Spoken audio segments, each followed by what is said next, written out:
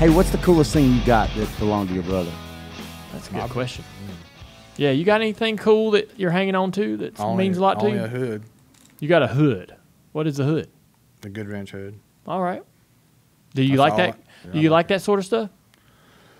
I'm not a collector. No, you're not. Like most of my stuff, I've got rid of because it's in the attic rotting. You know what I mean? It's just not good. You don't want it sitting around. You want somebody to enjoy it. Right? Is there something you wish you had? Like an old fire suit or something? Not really. No? No. You wouldn't hang it out. If you had one, you wouldn't put it out. No. No. See, when Dan Jr. was little, we put all them posters on his walls and stuff. But when he moved out, he just went away. Yeah. I got a lot of them, but fire suits and all that stuff. The only place you got to put them is the attic, so they're going to just rot away up there. You can put them out to show, right? To look I at. don't have that big a house to put them out. All right. It's just a regular house. I know, but even a regular house can show a uniform off. Hell, I mean, this the best room's- thing I got belonged to we, Dale Jr. we got a tiny regular room with all this stuff in it. I know you don't want your house to look like this. Sherry probably had something to say about that. Yeah, she don't want she don't want no racing stuff no, out. she don't. Mm. Only thing racing much is what he give me. I got it. What I give you? My helmet. Hmm. From where? Do, do you know? What was it? What was the helmet of? The baseball car. Hey, you got baseball the baseball car. hey, there it is. We were looking for that.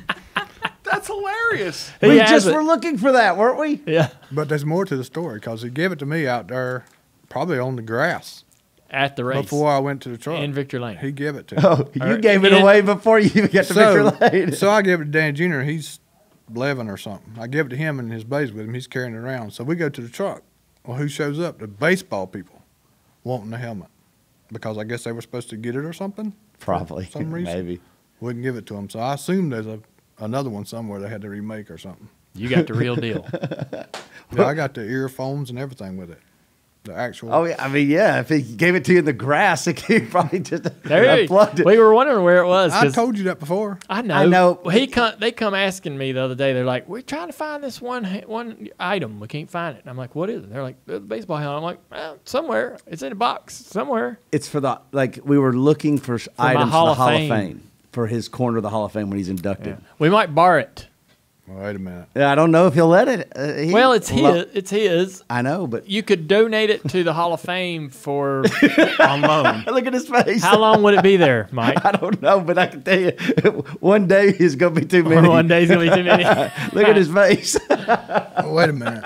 all right, all right. You don't have to. You don't have. There's plenty of other stuff. Hold on, no, no. I want you to th- fi- finish your thought here. What are you thinking? Is there a, is there a possibility at all? Is there a scenario in which you would let the Hall of Fame on his induction ceremony for you know let's just call it a month? Okay, if Dale asked him to, I'd do it. As long as I get it back. Yeah, it's Danny's, so he needs to get it back. Well, it'll be Danny Jr.'s sooner Yeah, or later. Yeah. But it's not even in a case or nothing. It's just sitting on top of a cabinet. See, how people do at the houses when they have something special, they mm-hmm. Show Oh. it off. You've got. I can't believe you got room. I can't believe your- it's not in the attic. I can't believe you got room in your regular I house. still don't. I don't. I still don't have where nobody can see it. Of course, I don't have that many visitors either. So Wait, you've got it out, but it's hidden away. You know? Mm. yeah, it's in Dan Jr.'s old room. Oh, It's Nash's room now. gotcha. Hopefully, it's out of reach from It little is. Nash. It is Wild man. right on top of the gun cabinet. Yeah. Yeah. Okay. I have Danny Senior's uh, old dining room table in my house. Oh, you do, don't you? Yes, I I thought do. you'd done sold that thing a long time ago. Shoot, no, man, it's your table. I kind of can't hang on to that. I actually value the things that people, you know, belong to others, and, and I like to show them off. Anybody Right. comes to my house and say, "You know whose table that was?" The Danny Senior's table. You don't. So- Um, I don't want to end on this conversation, but I wanted to, I wanted go to talk about um, that uh, the dad's death in February in uh, Daytona.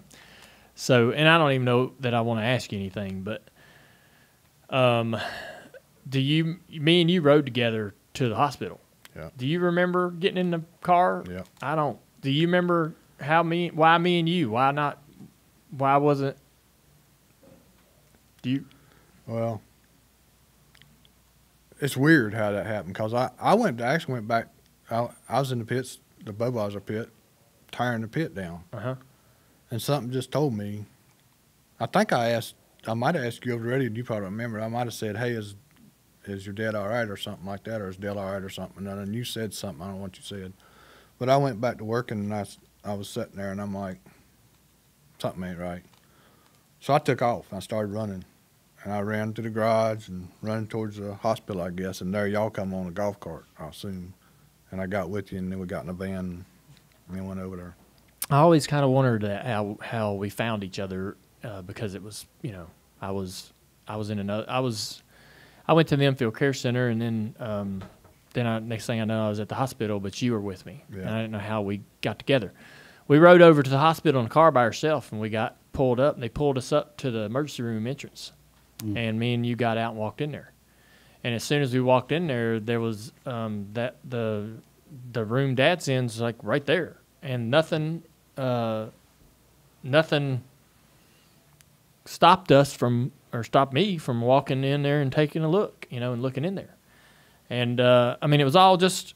I mean, there's a lot of people, right? I mean, there was thirty people in that entranceway, either there because of Dad or they had their own personal reasons if another family member in that unit whatever right there was there was it was a busy spot um, but i remember going in there and then me and you and then the next thing i know me and you are in this room remember that was some kind of room with a bunch waiting of people. room bunch of people and me and you just sat there together Wall to wall people. yeah and we just sat there I don't know why. we was waiting for something I don't know why because you know, I remember going in there when we first walked in. Teresa was there, I think, yeah and I think she asked. I know she asked me. I don't know what she said to you, but if I wanted to go in, and I told her no, yeah so I didn't go in. But you did, I guess. Yeah, just for a second.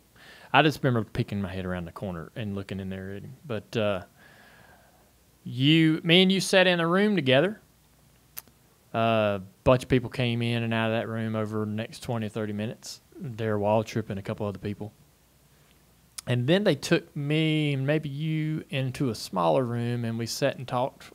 Some man came and it started explaining to Teresa uh, and us, I guess, about like what the next steps were. Uh, what we were, what the rest of the day would look like, what we were gonna, what what they were gonna say to the public, right, or what all was about to happen next, right? And Teresa's getting this information maybe from Mike Helton or somebody, or or I, I don't know who it was, um, but uh, I got out of there and back to you. And then I said, remember I looked at you and I said, "You ready to get out of here?" And I probably said yeah, because Yeah. I don't. I don't remember even coming back to. I remember getting back to the track, Yeah. but that's it. I looked at you and I said, "You want to get out of here?" And you said, "Yeah." And then because we knew Dad was gone, and there just wasn't no reason to be there. I think I called Kelly from that room Really, at Mama's house. They were all up there, and told her. everything you knew. Mm-hmm. Yeah. Bad, bad time. It was tough. We get in the car and we rode back, and I remember we went into my bus, and Tony and Tony Jr. were there. Do you remember that? I don't remember. Yeah. We went back to the track and went in my bus, and that's when Tony and Tony Senior, Tony Junior and Tony Senior were there, and we told them everything we knew, and then I don't remember anything after that. I, don't, I remember don't- getting on the plane. I don't remember getting on the plane. I don't remember going home. That was a long ride home. I it that. was. And then I the remember, I remember then we all ended up at Mama's house. I think it was the same night. You remember that? Yeah, I think so. Whole whole family was there. Yeah. you know, the one thing, I mean, we kept racing. We went, you know, we went back to the racetrack and we kept working. You weren't working at DEI at the time. No. So you go back to the mill. When you're at the mill, I'm sure everybody that knows you is coming up to you, Yeah. right? And for a long time, Yeah. too long. Yeah. I know you didn't get to DEI until 04, but um, did you have any thoughts about like did that make you want to be in at the shop? Did that make you maybe think maybe not about going to the racetrack at all? No, I still wanted to go to the racetrack because I don't know. I just I didn't know nothing else to do. I don't reckon, but go to the racetrack, and that probably made it better You being know, at the track. being being at the track Yeah, with you and everybody else. Yeah. Because we were still a group. yeah. You know, and I felt the same way. I didn't want to be anywhere but at the track. no, where else would you be? Yeah.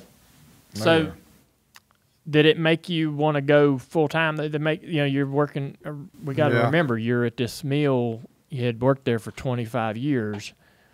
You know, and that was that's hard to walk away from. Yeah, I, I wanted I wanted to get in full racing full time. Yeah. What was the moment, I guess, for you? I know what I felt like in different parts of the year and after that win at Daytona and all that, but like as his brother, when what were what was the moment for you where you felt some closure? That race at Daytona, Yeah. like it was for everybody. I think. Yeah. What did Harvick's win at Atlanta do for you? Did that make? I mean, I, I could, No. especially if you guys, if it, for you guys it would be mixed emotions. I don't like. I can imagine. I don't like anybody seeing is somebody else driving that car. Yeah, it was mixed for me. Yeah. And the other thing that's mixed, and I don't have really hard feelings about it, is, is putting three back on the track because Richard said he would never do it. Richard told Mama he would never do it, but he did. Yeah. Um, But that's fine. It is. You know, I got I- had an opinion about that, and uh, thinking about Harvick's win. Um, I know how the I know how the July win felt for me. You know, and you know how it felt for you. I imagine that win in Atlanta felt the same way for Richard and those guys, Chocolate, and all those guys. You're probably right. You know, all those people that were working and plugged into that car. Um, and so it was a weird feeling for me to see them. We had just won though at Rockingham, right? We had just won with Park, and we had just celebrated a win, and so it was like a continuation of that. When Harvick wins, it was like, yeah, that makes sense. That's the next thing, right? Park wins, Harvick wins, Richard Childress celebrates, DEI celebrates. When Richard called and said, "Hey, I want to bring the three back," um, so there's if we're doing double digits, we're not doing triple digit numbers. You can't really retire numbers. You can't retire the 43 and all that. And there's these kids that play sports. Austin Dillon Yeah.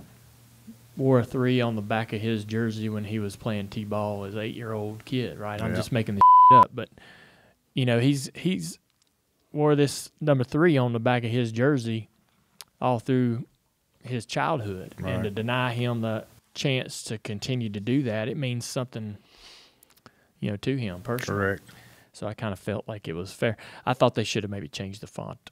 All right, guys, I know a little bit about cars, so believe me when I tell you that Tire Pros, they're the real deal. They've got great people, great service, and they can take care of all your automotive maintenance needs. Plus, they're a sponsor of this show, so you know they got great taste in podcasts. So check out Tire Pros, follow them on Facebook, and tell them that I sent you.